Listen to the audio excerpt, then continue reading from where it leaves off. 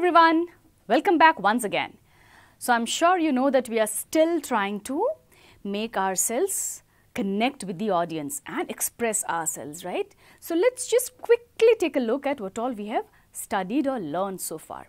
So, we saw if we have to connect with our audience and or express ourselves, we need to start our speech with a either a quotation or a biblical uh, quotation or a story or um, of data, facts and figures. Okay, so opening is important, closing is important, wherein we would want them to take some action or learn something, uh, inform them about something, but then ending needs to be summarized. Okay, of whatever you have told in there in your speech, you will have to summarize it and tell to your audience. So opening, closing, and then how do you make yourself clear? The clarity in your speech.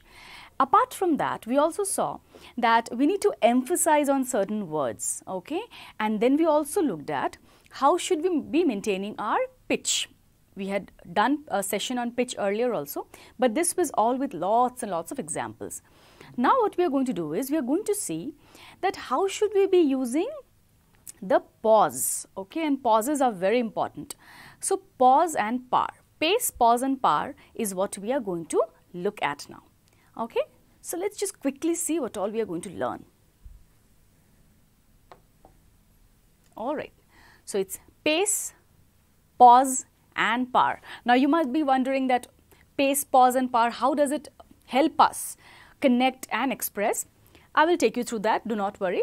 So, let us just once again look at the word pace, pause and par. Okay, in English we call it par or if you want to pronounce it in an Indian English, so we'll call it power. Okay, but it's actually par. Pace, pause and par. Okay, I'm going to read this and you, you will be, I think you'll be annoyed if I read it like this.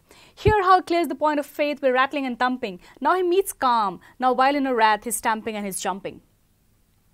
Could you understand? Could you make out anything of whatever I have read? Unless it's written here, and you are made to read rather than listen to me, then only you will be able to make out something that I have written. Otherwise, it's all Hebrew for you. Okay, it's all jumbled. You could not understand what I said. All right. So, what is pace now? Now, let me read this entire thing once again. Hear, how he clears the points of faith with rattling and thumping. Now, meekly calm. Now, wild in wrath. He is stamping and he is jumping. Okay. So, I have taken pauses means I have stopped in, in certain words during uh, the utterance of certain words so that it becomes clear for my audience to understand. I am not here to show that I can speak fast. My intent is to make my audience understand what I am saying.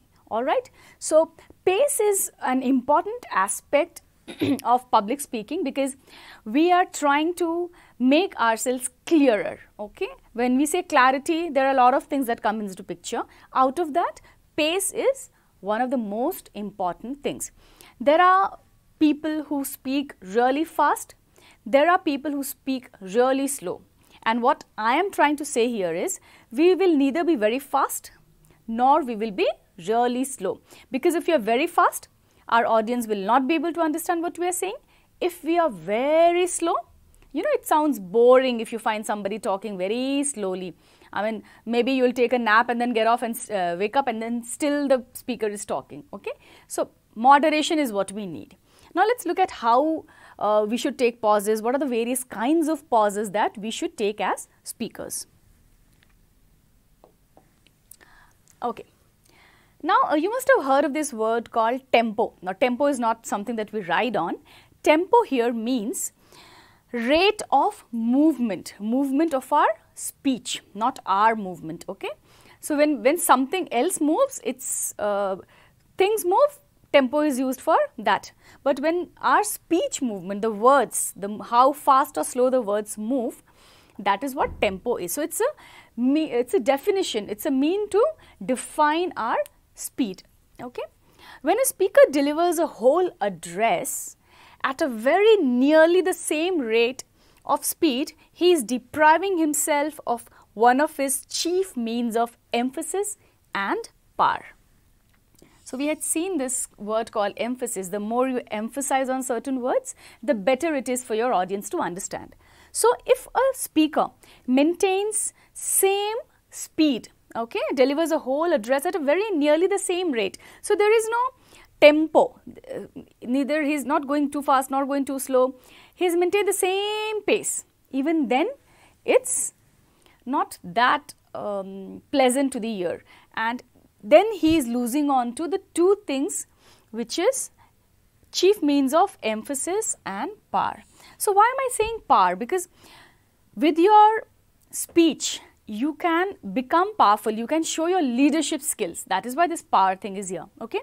So when you're when as a speaker you do not maintain proper tempo that is movement of your words entire speech that you are talking in and you are delivering at the same pace. Without at times you'll have to be real a, a bit fast. At times you'll have to be a bit slow because you want to emphasize on something. At times you have to be fast because obviously a speech has a paucity of time that is how the speech becomes interesting. So take some time and think about people who you hear on a daily basis or if you have gone into looking at or hearing out people speaking, seasoned speakers, then see how they talk. What kind of pace do they maintain? What is the tempo, the rate of movement? Okay. Change of tempo. So when you bring in this change, like I said that in pitch, high, low, high, low. Likewise, rate of movement too should be high and low. Okay. So, change of tempo lends naturalness to the delivery. Otherwise, it looks very animated. Animated means as if you are trying to copy someone, you are trying to animate something. Okay. So, when you use proper pace, okay, which is like tempo, change of tempo. So, when you have to change your tempo, fast, slow, fast, slow, that lends naturalness to your delivery. Okay, so we are all talking about the pace here. All right. I can't recall, so I'm just reading this sentence here and I'm maintaining a pace. I can't recall what I did with my knife. Oh, now I remember. I gave it to Mira. So, I can't recall what I did with my knife. Pace. Oh, now I remember. I gave it to Mira. Okay. So, when I have here you see now I remember I gave it to Mira. So, I sped up, but this entire line because now I want my audience to to feel okay. I'm trying to understand what I did with my knife. Okay. And when I've recollected, okay, I gave it to Mira, I can be a bit faster. All right. So, that is what pace tempo is. Change of tempo often occurs in the same sentence like here. I can't recall what I did with my knife. Oh, now I remember. I gave it to Mira. So, change of tempo can happen in the same sentence. All right. And that is how it makes um, your delivery look natural and not animated. For tempo applies not only to single words, it does not apply to single words unlike emphasis. It applies to groups of words and groups of sentences but to the major parts of public speaking. So, it applies to, to one whole new maybe a section wherein you can apply your tempo. So, it is not only um, kind of restricted to a to a word or letters, okay, syllables. So, it is in totality in your total speech you can use a major part of your total speech you can change your tempo. All right. Now change of tempo, when you, whenever you change this pace of yours, it prevents monotony and I have spoken about monotony earlier also. Whenever you bring in um, intonations, whenever you rise your voice, lower down your voice, whenever you bring in pitch, emphasis, all this break monotony. Likewise, tempo, the pace also breaks monotony. Okay, otherwise your audience will feel bored. Change of tempo produces emphasis. So, it prevents monotony and it produces emphasis. You can emphasize on important words or parts of your speech. Okay. Now we come to pause. So, all this while we were taking care of or looking at pace, the speed with which we are we talk, the speed with which we uh, utter any word or a sentence. And we have seen that it should break monotony, it shouldn't look animated. Um, we should be, in the same sentence, we can change our tempo like any other uh, speech, uh, vocal uh, things that we use in a speech. Alright, now that we have taken care of the pace, the speed with which we talk, now we will look at the pauses that we need to take. Now what is a pause? And we have dealt with this before, but then it's kind of an advanced version of what pause we have learned. Pause in public speak is, uh, speech is not mere silence. It's not uh, remaining quiet. Okay, it is silence made eloquent. Means it it is soothing to the ear. When you are taking a pause, it's soothing to the ear. It makes your speech very nice, eloquent. Okay. I um, now if I read this sentence, I um, it is with profound um, pleasure um, um, that I have been uh, permitted to um, to uh, to speak to you tonight, and I should uh, say now whenever I am saying this, okay, ah, uh, all right, er, okay, uh, these are all pauses but not required. Okay. So, these, these are stumbling, okay, you are stumbling, you are falling, you are stumbling on something like when you walk and you come, uh, you stumble upon a rock or a stone, it is just like that, you are stumbling because you are not getting the right kind of words. These kind of speeches do not sound good to the ear. And at times, if uh, you know, have seen speakers um, when they speak, there are audience who because they use a lot of these ers, ums, er and all that. They keep noting. And in schools also there are some naughty children who say that, ma'am, you have said 17 times uh, um, in one, in let's say one paragraph. Okay. So you should not be using any of these um, or once or twice, maybe out of, you do not even know, subconsciously you are talking. But the more you practice, the more this uh, uh, mm, all these will stop because these are not pauses and we should not be using these in our speech. These are merely stumbles, things we stumble upon. One of the most important means of de developing power, okay, developing power in public speaking is to pause either before, okay, so I'm, I'm emphasizing on each verse because I want you all to understand, pause either before or after or both before and after. Okay? So, if you want to become a good public speaker, you should pause either before or after or both before and after an important word or phrase. Important word or phrase. And when I read this particular sentence, you must have noticed that I did the same thing. I am reading it once again for you.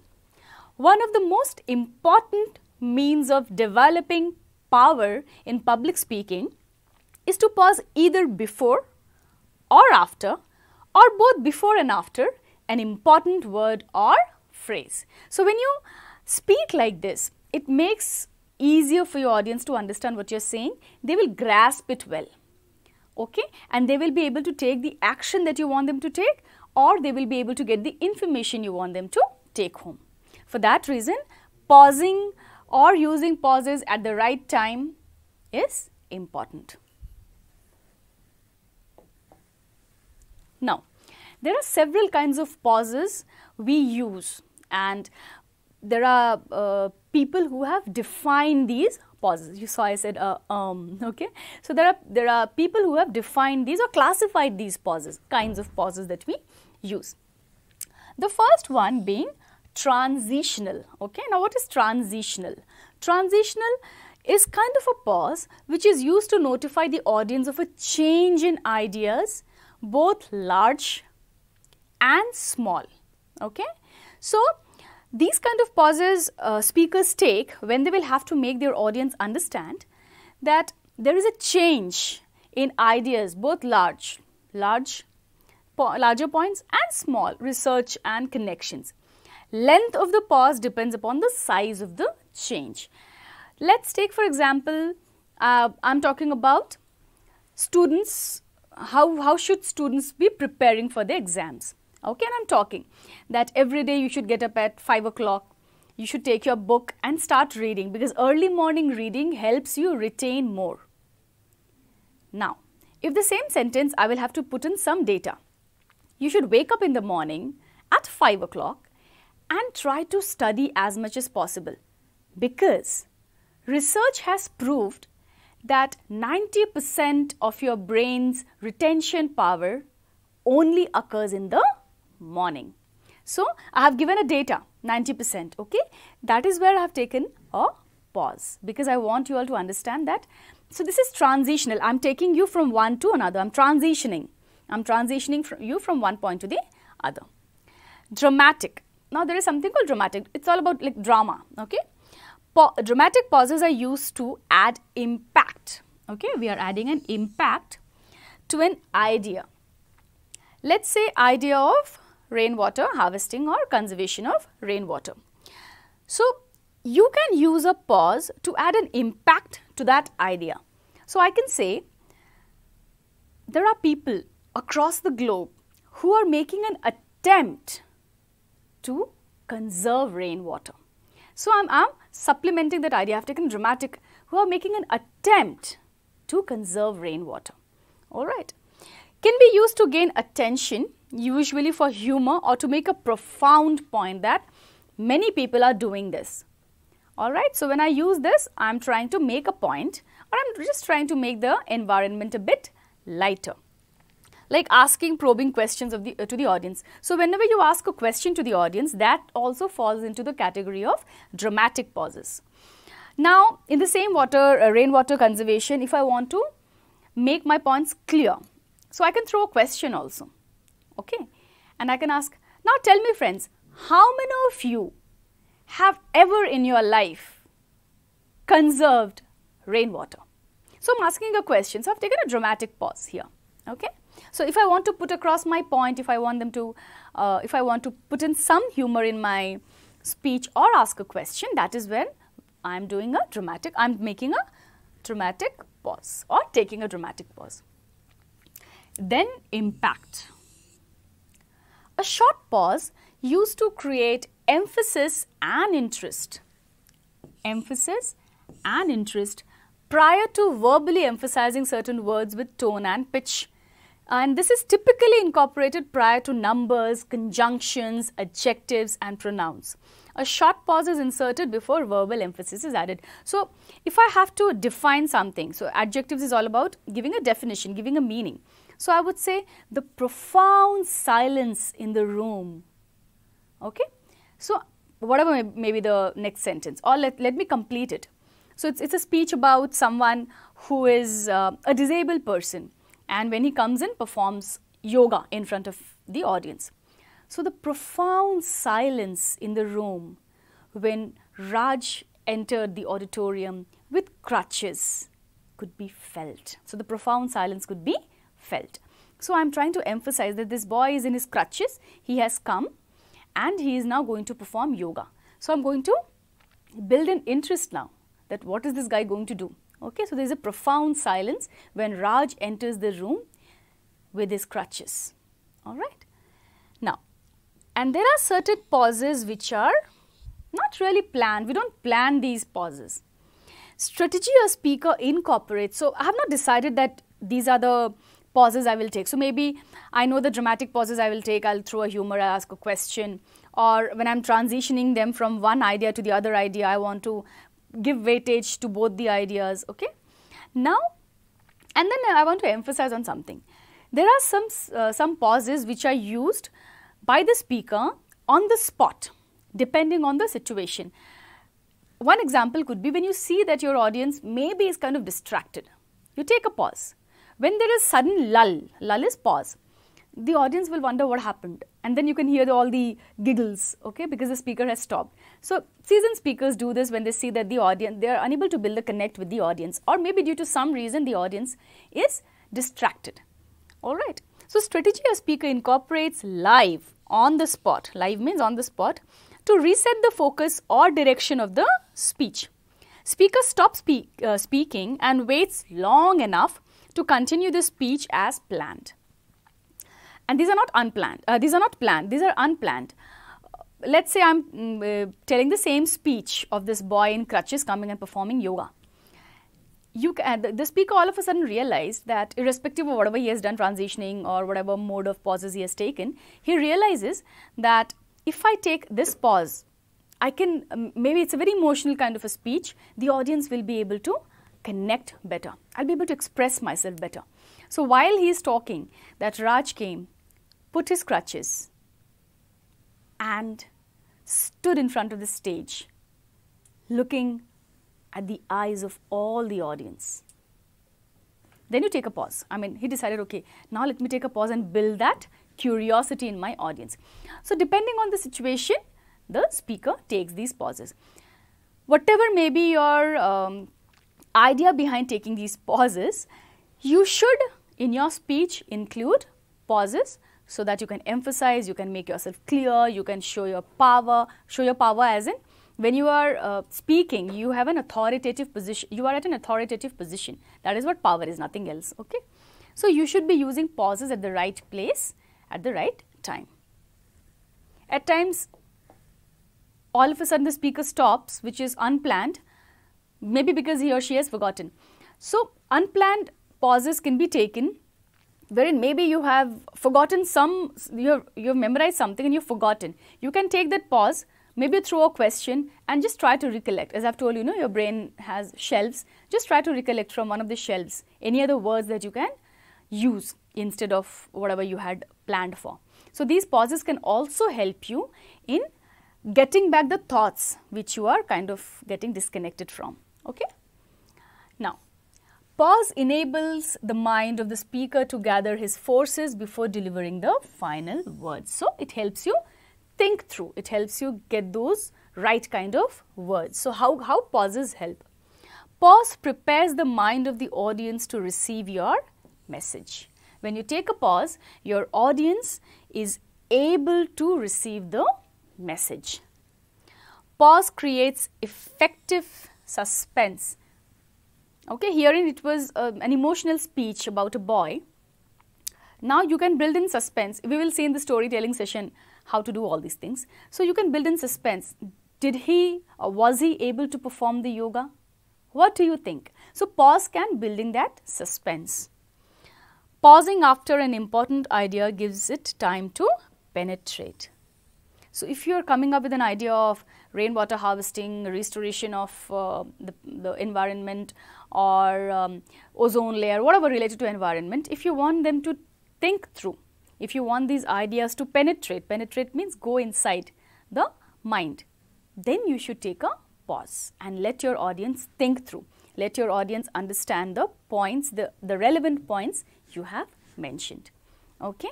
So, this is all about pace, pause and due to this pace, pace and pause, you have, you show your power of speech. Power doesn't have any other connotations or meanings here. Power here is the authority that, you, that has been vested on you or given to you to prove your points. So, you will be able to prove your points and prove your authority by showing your power when you use proper pauses and when you maintain a good tempo that is pace. Okay? So, this is all about maintaining pace, pauses, taking pauses and creating authority or showing your power of speech and connecting with your audience as well as express yourself.